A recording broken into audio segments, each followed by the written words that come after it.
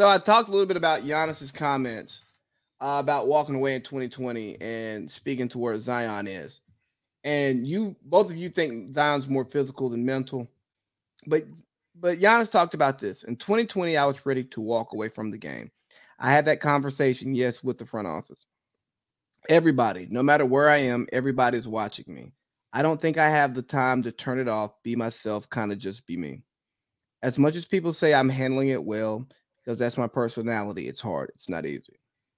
I gave it a chance. I started talking with someone. Somebody helped put me in a place again to appreciate all of the things that I have that comes with being who I am, to be okay with myself. I feel like a lot of people deal with it, but they're not willing to talk about it. They're not willing to improve because the stigma behind it's behind it. I talked to Kevin Love and told him how he inspired me to open up and help me to kind of better myself, where he was literally tearing up when I was telling him that. He never imagined he would be the one to kind of help me figure out a way to cope with all of this. All right, I got a few comments for this, and then I'm gonna let you let you two respond.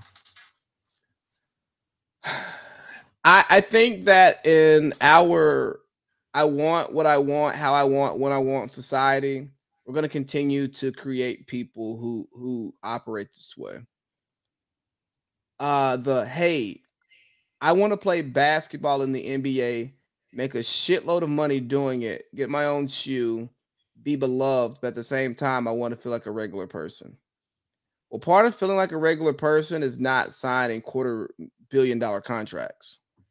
You know, we we we don't even sign quarter million dollar contracts. Uh, most of us, you know, so you get compensated for what you lose in your mental health. Just like jobs that are super risky, you go work uh, on an oil rig in Texas, you you get compensated handsomely for that. So when you come and you say, "Hey, you're the little mermaid and you want to be part of that world, here's what you do give some of that money back. Oh, you know what, dog? You're 6'11, you're seven feet tall.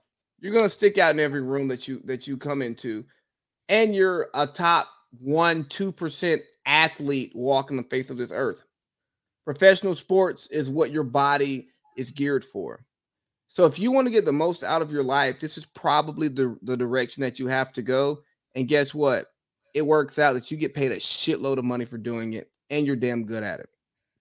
Now, I'm saying all of this to say, not to dismiss anything that he, Giannis is going through. And I'm great that Kevin Love, DeMar DeRozan put out what they what they're going through uh to the world. So other NBA players, macho men, alpha males could reach out to those guys or just reach out to whoever they needed to get the help that they need. And we see it with Michael Jordan. Michael Jordan has a very small group. He couldn't do much because he's so famous. But what I ask for those people in these situations, especially the basketball players, because they stick out, is what's your alternative? There is a yin that comes with every yang. There's a good that comes with every bad. Yes, you can go work minimum wage at name that place, and guess what? Instead of a shoe being named after you, you're only getting one pair of shoes per year. You know what I mean? Like you're stocking that shoe that could be your shoe. Now you're stocking it, not it being sent to you. So what's important to you? And I know I come off as insensitive, but I really get tired of of rich people, especially rich people who came from nothing, who have afforded themselves, their families, generational wealth, uh, opportunities beyond the eyes can see. Uh, first name relationship with billionaires will eventually be a billionaire, and the doors that opens, and you want to talk to me about, hey man, I, I don't know if I'm cut for this. Well, fucking walk away. Fucking walk away. I know Diddy said more money, more problems, and I believe that. And I believe that we all should probably have a good therapist on standby because we got problems that we don't know how to deal with and cope with. But when you come to me with your white collar problems, when you come to me with your first world problems, and we get, eh, but then you want to be an advocate for for police violence in Milwaukee, you want to say, "Hey, I'm here to stand to help poor people out." Well, part of helping poor people out is not bitching about the, the spoils of being rich and famous.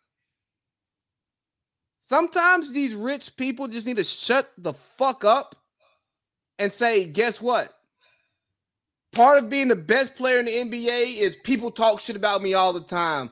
But I go home with a fat wad of money that these motherfuckers would never ever think about seeing in their life. I could pay off, I pay more in taxes than you will accumulate in debt in your entire being. You remember LeBron in 2011 when he was pretty much like, hey man, y'all gonna go back to y'all shitty ass life and I'm still gonna be LeBron James? More people need to take that mentality. So kudos to LeBron, kudos to Kobe, kudos to MJ, kudos to these famous people who are larger than life, who have found a way to find normalcy within their life.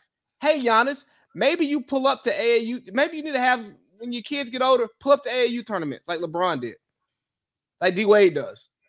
Go around normal people and just say, fuck it. They're gonna get on my nerves, they're gonna be in my space, but I'm gonna do this to make myself more available so I don't feel so isolated.